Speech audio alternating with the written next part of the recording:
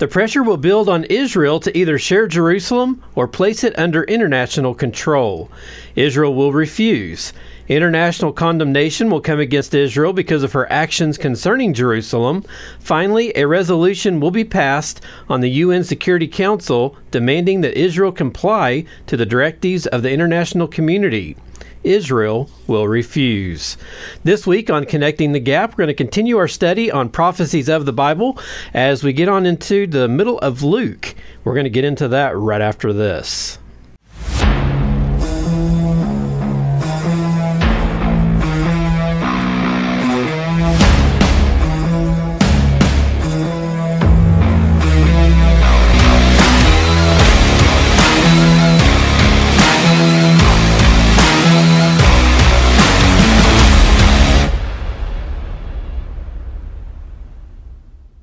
Everyone, welcome again to Connecting the Gap. This is a brand new episode of my podcast. Thank you for joining me this week, and I hope you guys had a great Mother's Day. That was last Sunday. Hope all you moms had a wonderful day, a time of fellowship with your children, with your family, hopefully. I know it always doesn't happen that way, but hopefully all of you mothers out there listening did get the opportunity to be able to visit with your family and that kind of thing. So hard to believe we're already getting into May. Hard to believe that we're at another Mother's Day, but we are. And uh, actually, we've already passed the Mother's Day, so it's this year's just flying right on by. As I get started this week, I want to remind you to go to my website, connectingthegap.net and uh, check out my podcast platforms there. You can also get my Rumble channel link and my YouTube link as well. And I wanted to announce this week we are on Edifi. You can go to edifi.app, that's E D I F I app and if you download that app onto your phone, it's all Christian podcasts. That's all that's in there. There's nothing in there except for Christian based material.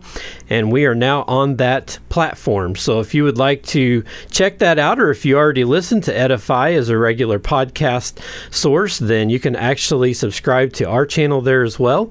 And you'll get our podcast each and every week delivered right to your app right there at Edifi app. So we're excited about that, a new platform that we can be on. And this one is actually kind of cool because it's all Christian stuff. Almost everything else that we're on, of course, is pretty much a mixture of you know what. And so have to kind of get through all the noise to find us on the rest of them. But it's awesome that there's an app out there that dedicates itself to the Word of God. And we're excited to be a part of that. So go check that out today. That's edifi.app. You can download the app Edifi and sign up for a username and password there if you don't have one already, and subscribe to us on that platform at Connecting the Gap. Well, we're going to go ahead and get started this week and get into this. We have reached Luke chapter 17 at this point as we are cruising our way on to Revelation. We're going to be in verse 32 and 33. We're going to talk about she needed an attitude adjustment. In that verse of scripture, it says, Remember Lot's wife. Whoever seeks to save his life will lose it, and whoever loses his life will preserve it. If you remember in Matthew, Jesus said, No one can serve two masters, for either he will hate the one and love the other, or else he will be loyal to the one and despise the other. That was in Matthew chapter 6, verse 24. The point is that people should develop the right attitude about God and the things of this world. To put off doing so is foolish. Lot's wife is an example. God sent angels to get her out of Sodom before he destroyed that city with fire and brimstone. The angels told her to flee and not look back, but she did not listen. She disobeyed and lost her life when she was turned into a pillar of salt. Apparently, she loved Sodom. She did not want to leave it, did not want to give up her worldly goods, and did not believe God would destroy that loathsome place. So while fleeing, she hesitated, looked back, and perished. She ended up losing everything anyway. This goes to the heart of people's attitudes toward worldly things. We should always be ready to give up our possessions for the things of God. Those who seek to save their life or refuse to turn it over to Jesus will lose it. And those who are willing to lose their life or give it up for Jesus will save it. Henry M. Morris and Henry M. Morris III was quoted Christ accepted the historicity of Adam and Eve in Matthew chapter 19, verses 4 through 5, of Abel in Matthew 29, verse 35, of Noah in Luke 17, 26, of Abraham in John 8, 56 through 58, and Lot in Luke 17, verse 28. He believed in the supernatural destruction of Sodom and Gomorrah, which was in Luke 17, 29, and the calamity of Lot's wife. Can you give up your vehicles, your house, and all your other possessions for Jesus? Well, during the tribulation period, those who want to keep everything will lose, and those who are willing to lose everything will gain. The decision should not be tough, and a person should not hesitate, but many will. What will you do? We all know that we can die on a moment's notice, but most people think they have plenty of time to prepare for that. It will not be that way during the tribulation period when approximately three fourths of the world's population will die, and most of the others will be caught by the surprising return of Jesus. There are many important doctrines in the Bible, and it is difficult to say one is more important than the other because all are given by God.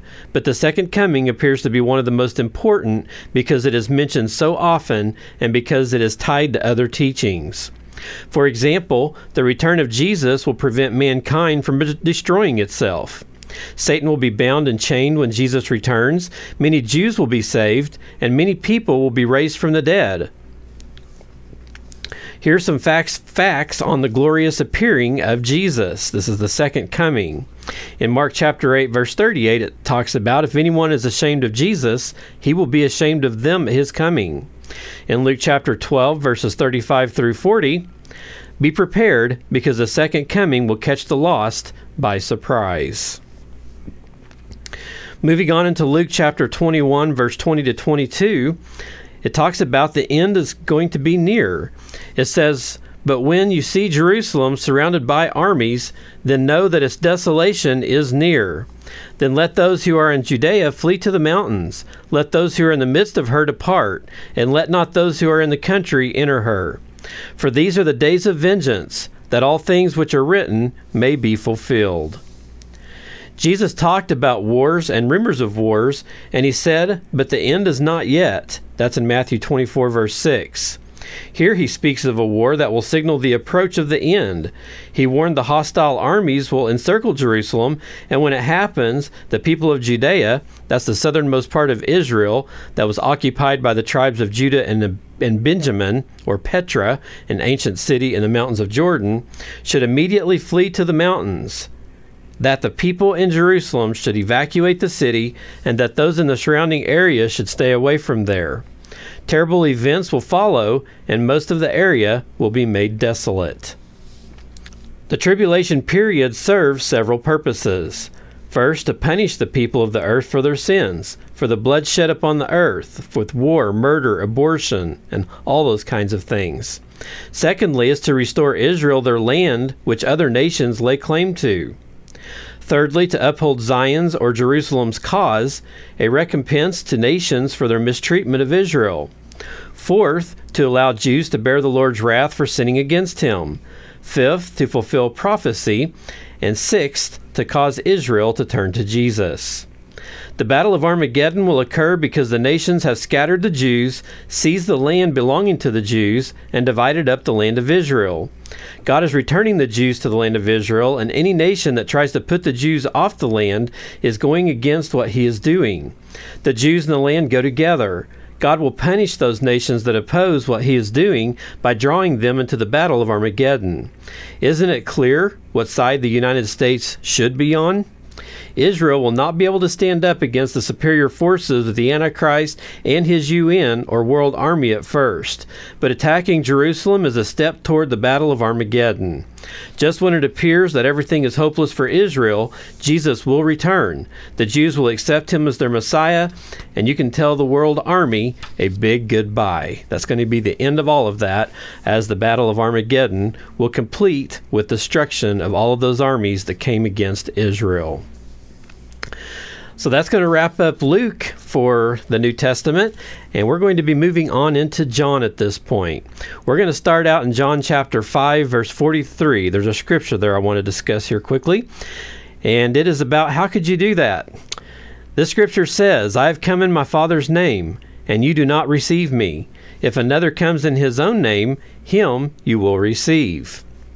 Jesus here was talking to a group of Jews, and he reminded them that as a nation they had rejected him. He was the Messiah, and he came to them in the name of God, but they wanted to get rid of him.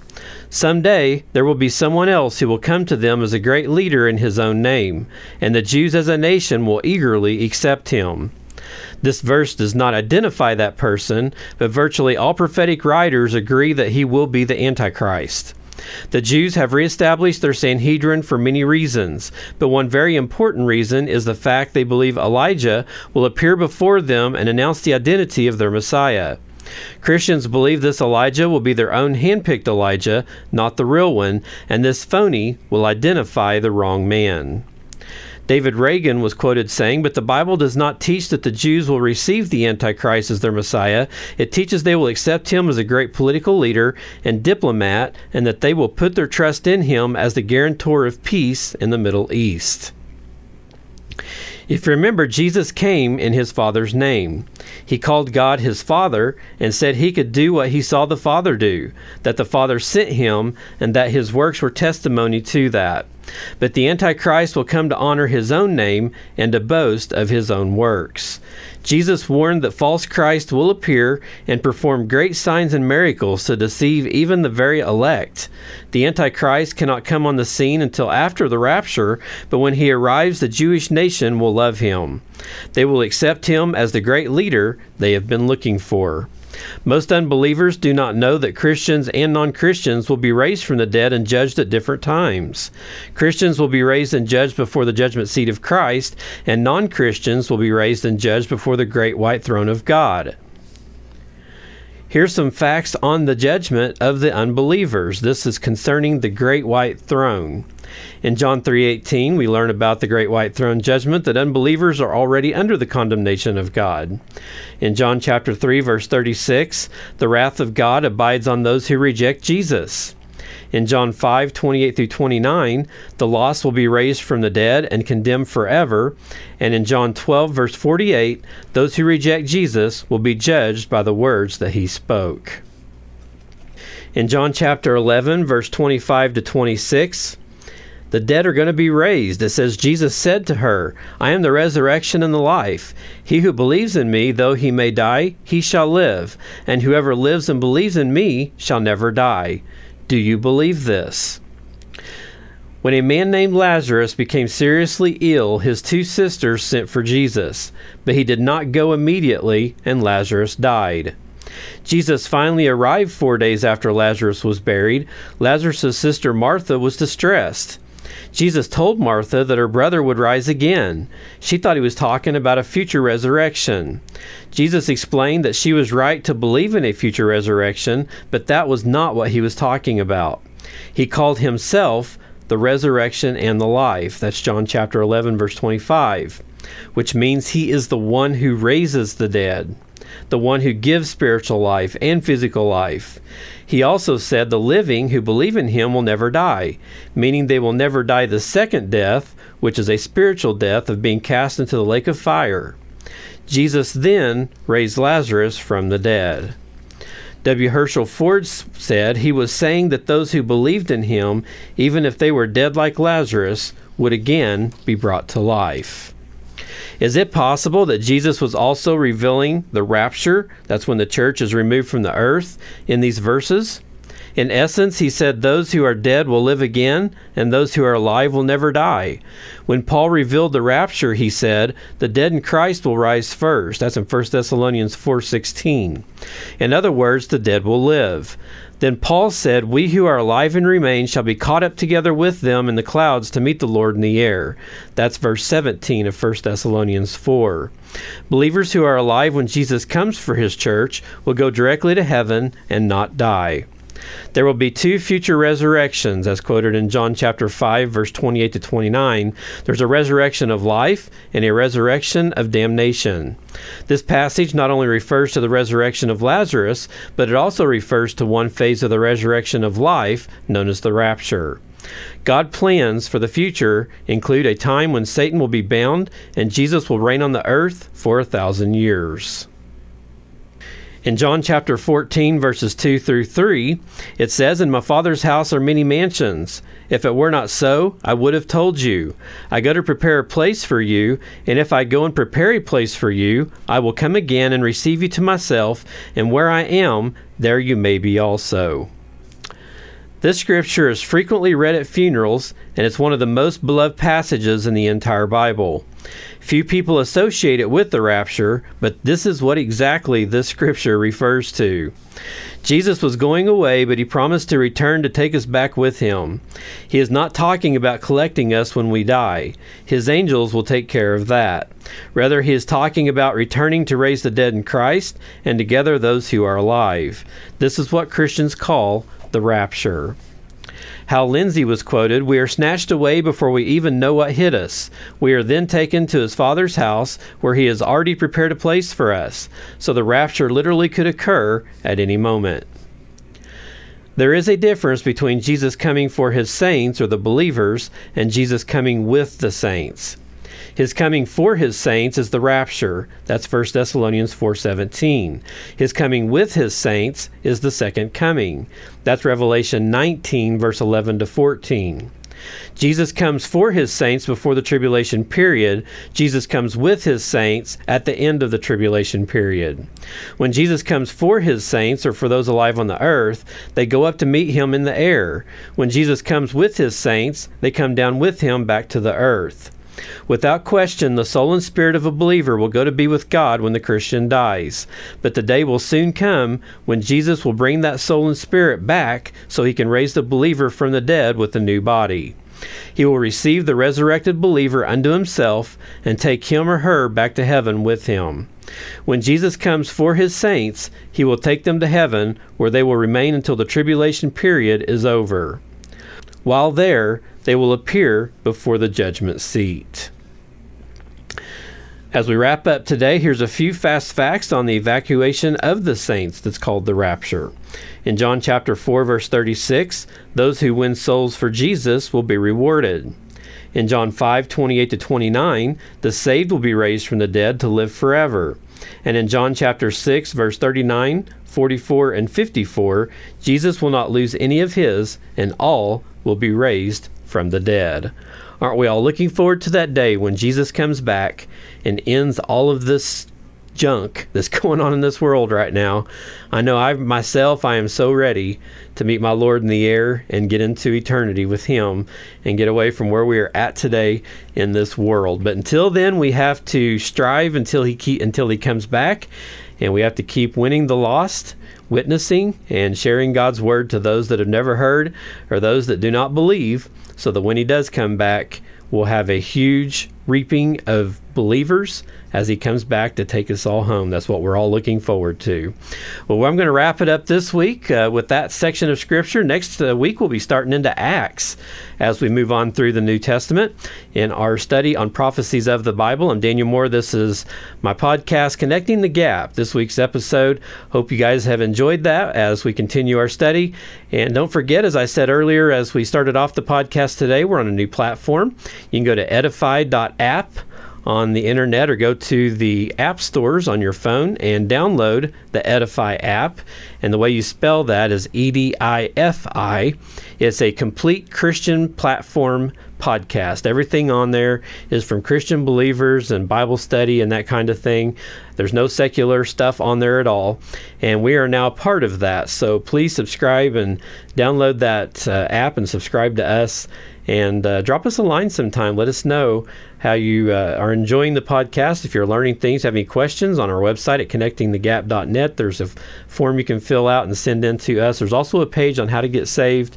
And of course, all my, pl- my platforms are there and YouTube and Rumble links as well. Thank you guys so much for being with me this week. And I'm going to get out of here for now. I'll be back again next week as we continue our study. Until then, God's Word never fails us. God's Word has stood the test of time. And through Jesus' death on the cross, He has connected the gap.